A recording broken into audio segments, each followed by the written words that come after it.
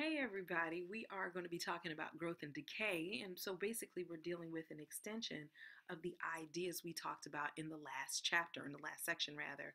So remember, we were dealing with the exponential function y is equal to a times b to the x power. We're going to be working on that um, with each of the situations that we're talking about. So exponential growth, we just we we understood what that was from our last section. It's when you have a situation where something is growing um, an amount, money, or something. Exponential growth is when you have this situation where you can model um, the growth of a thing by this equation such that B is greater than 1. And so we saw when b was greater than 1, our values would go up, up, up very quickly. And so that's exponential growth. Compound interest is a very deep discussion. I'm going to try to make it simple. So back in the day, I think when we were studying the chapter on percentages, we talked about simple interest. And it was basically this if you put some money in the bank and you say that you're going to get 5% interest on it every and you leave that money in the bank for however many years, you just take 5% of that principal amount, that's the initial amount you put in the bank, and then you multiply that by the number of years that it's there and you get it. So for instance, if our principal amount was $100 and we put that in the bank and then I was making 5% interest, which does not happen most places at all anymore, and I was making about 5% interest per year, what I would know is 5% of 100 is $5. So if I'm making $5 per year, basically, and simple interest says if I leave it in the bank account for 10 years, I'm going to take that 5, multiply it by 10, and boom, I've made $50 over the 10 year time, which is good to do. Now, compounding interest, so all of this was simple interest. All right, this was pretty simple.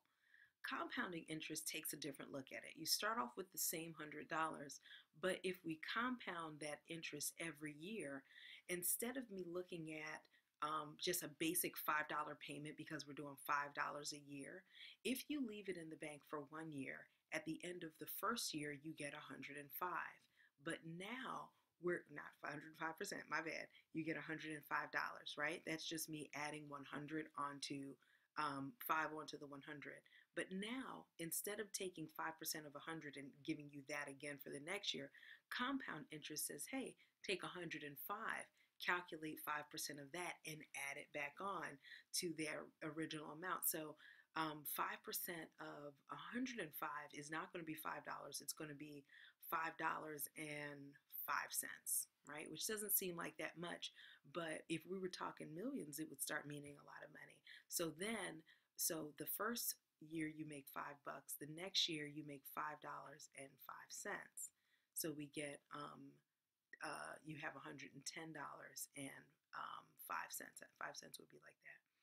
And then you would continue to compound that interest. So every time you add 5% on, you're not adding 5% on your original amount, you're adding it on each subsequent amount per year or whatever the time allotted is. So that's what compound interest is um, in a nutshell. If that didn't make sense, hopefully the examples will. We'll get there. And then um, exponential decay, there's two things that I want to talk about there. Exponential decay is when we have y is equal to a times b to the x, but the b value is now, if you remember from the last problem, between 0 and 1, right? Uh, when we talk about money that has this situation, when you're talking about the value of something that is exponentially decaying, last um, video I said, oh, that's just an exponential decay situation. The, the proper word would be depreciation. Depreciation. So you can think about the depreciation of the value of a car. I think I talked about that last time. Or, um, you know, your stock values are depreciating because of whatever's going on in the market something like that.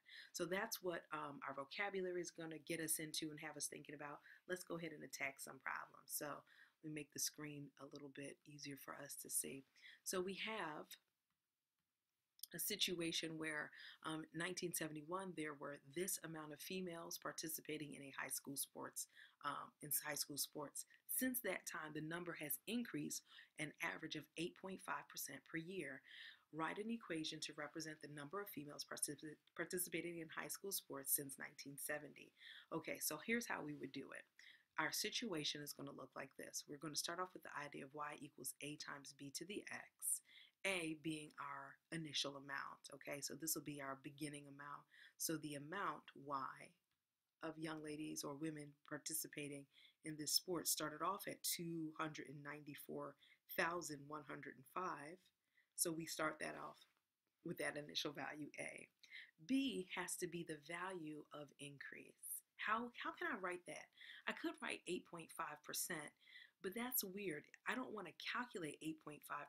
I want to calculate something else. I want to calculate the initial value plus 8.5%. I want to keep the initial value and show that I'm having an increase. The initial value is 294,000. So I really want 1 times 294,105 plus 8.5%, which we write as a decimal as 0.085. I'm going to let you think about why that makes sense in a little bit. Remember, this value um, b, since we are increasing, has to be greater than 1. And so it makes sense that we need to have a big number. The 8.5%, the 0.085 wouldn't make sense. But why the 1? Because I am adding on to the existing number. So imagine if I did a little distributive property. Distributive property would take this number, multiply it by 1. That's my original. And then take this number and multiply by 0.085. That is the increase. So I keep my original and add the increase. Make sense? I hope so. All right. So I take that value, and then since this increase is happening annually, I believe they said that increase on that per year, then this value has to represent the number of years um, past 1971. And so I can just say T, where T is um, the number of years.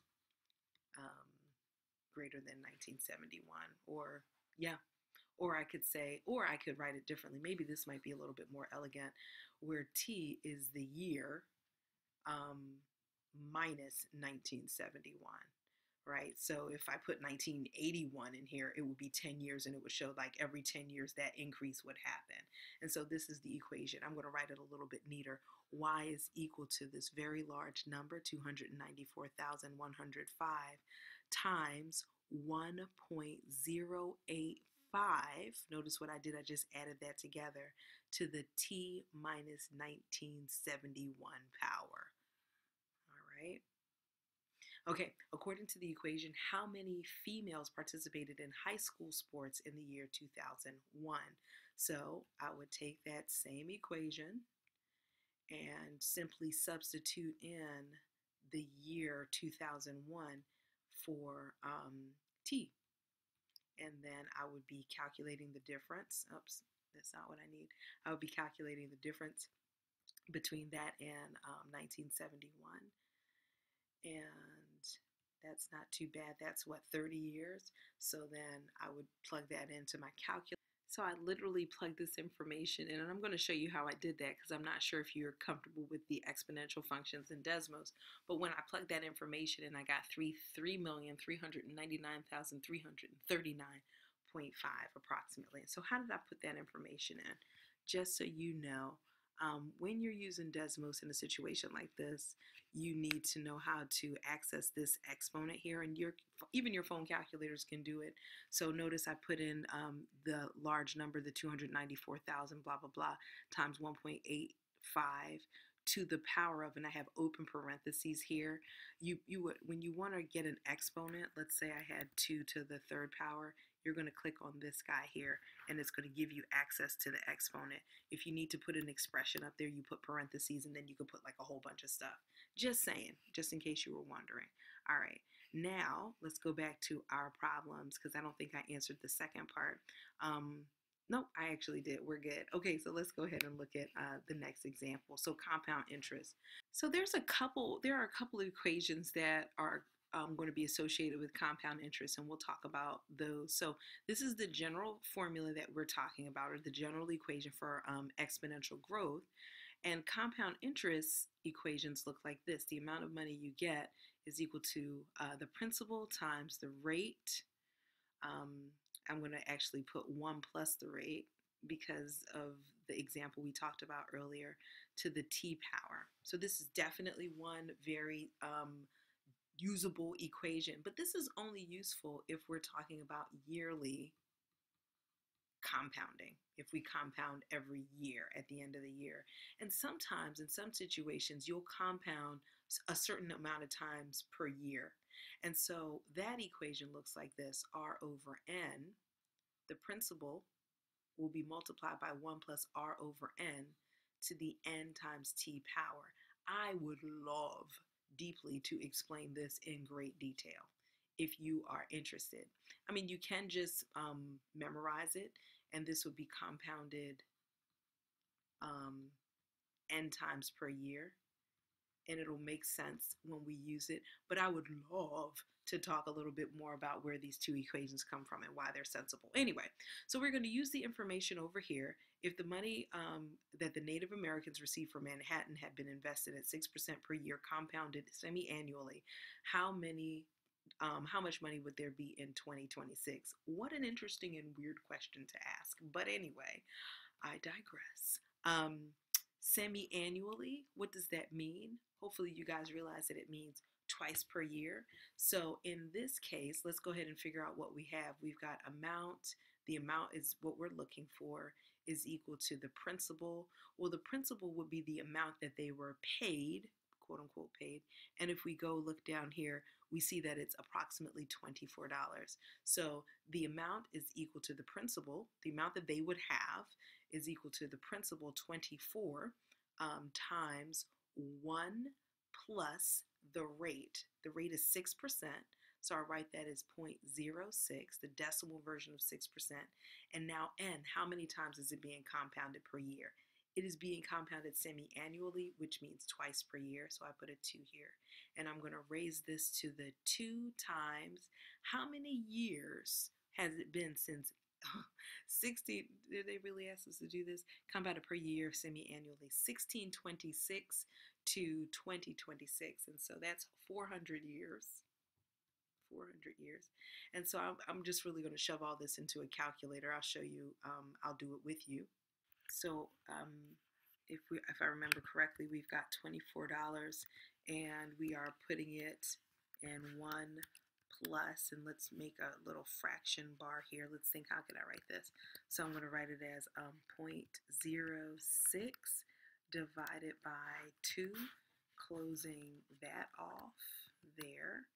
And I'm going to raise this whole thing to the uh, power of 2 times um, 400, right? Because it's n. Let's get my exponent correctly. I'm touching that. And it's going to be 2 times, times, where are you, multiplication symbol? All right, you see how I had that little problem? I need to put parentheses, so all of the stuff I'm putting is going to be raised to um, the power of, uh, of this exponential value. Okay, times 400. So I'm really just plugging in those pieces.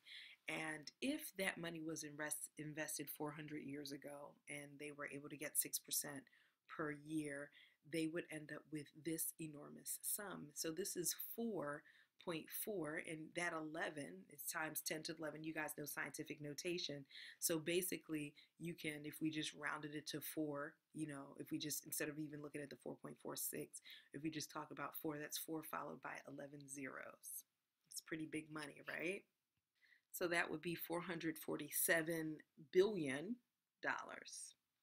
All right interesting problem. So what it is that that I think that um, authors of our textbooks really want us to see, and it's a decent problem enough, is just at how great um, things can get. I mean, I know we're talking 400 years, but from $24 to 447 billion, that's quite um, an exponential growth. So a farmer buys a tractor for $50,000 and if it depreciates 10% each year, find the value of the tractor in seven years. We'll start off with this equation where Y is, we're looking at the amount and at a certain time and A is the initial amount that was spent on the tractor. And now we need to account for the depreciation. And we do that by writing 0.9 as the depreciation factor in a sense, or the depreciation rate, and the x as the exponent that refers to the years. And how am I calculating this 0.9? 1 minus the 10%. So 90% every year is worth 90% of what it was every year. So let's calculate this quickly. I plug in my 7 for years, And just after that short time, we end up with 23,914. I'll talk to you guys soon.